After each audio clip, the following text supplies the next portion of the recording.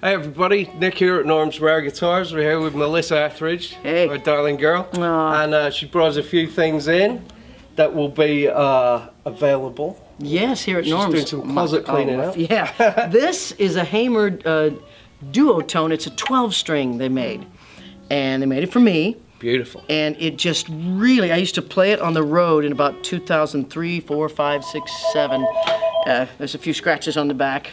But it, um, Bit of real, real wear on the yeah, back there. yeah, that that we did. But this was I used to play like chrome plated hard on it. Used to play uh, all my electric 12 string things. Yeah. Really, really, really sounds great. That's And uh, it's looking for a new home right here at Norm's. All right, would you mind uh, Let's doing sign the it. honors? Let's sign it. Beautiful, thank you. Guitars, Fender uh, has an import brand called Squier that does a couple of cool things that are right around the three hundred dollar mark. Um, There you go. Beautiful, thanks Melissa. Thank you.